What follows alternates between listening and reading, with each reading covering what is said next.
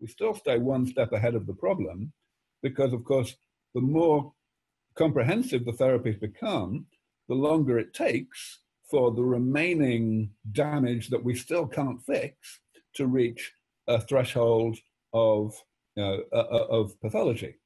So that's why longevity escape velocity is very realistic.